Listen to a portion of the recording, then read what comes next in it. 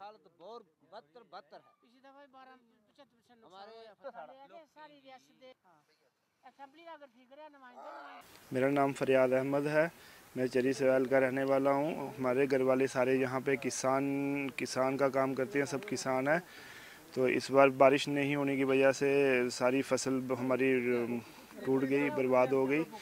तो हम सरकार से ये निवेदन करते हैं कि कोई एग्रीकल्चर की कोई ऐसी टीम बनाए जो गांव-गांव में जाके ये चीज़ देखेगी कि कितना नुकसान हुआ है, कितना नहीं।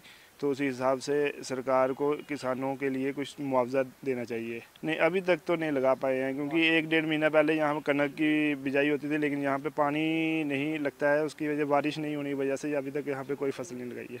इसमें ये है कि एग्रीकल्चर डिपार्टमेंट हम कैंप्स कर रहे हैं, लोगों को अवेयर कर रहे हैं। हमारा प्रोग्राम चल रहा है प्रधानमंत्री फ़सल बीमा योजना।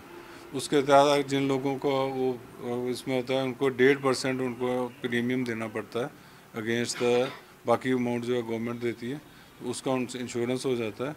उस इंश्योरेंस में अगर उनकी, अगर फ़सल नहीं लग सकती है ड्यू टू ड्रॉट अगर ड्रॉट डिक्लेयर होता है तो फिर उनको 25 परसेंट जो है कि उनको एस्टिमेटेड कॉस्ट का उनको without sowing without any doing तो उनको उतना पैसा फार्मर को मिल जाएगा।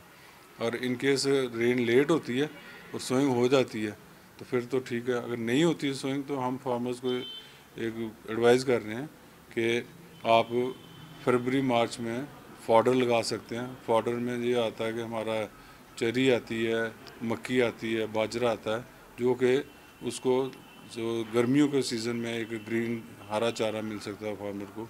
तो वो भी एक एडिशनल बेनिफिट दे सकता है। उसके साथ साथ वो पल्सेस लगा सकते हैं। पल्सेस में वो माश लगा सकते हैं मूंग लगा सकते हैं। तो मूंग माश जो है जो समर्स की क्रॉप है उसकी यील्ड भी अच्छी होती है उसमें बीमारी भी कम आती है और वो एक एडिशनल क्रॉप मिल सकती है। तो ये कंपनसेशन हम करवा सकते हैं उनसे।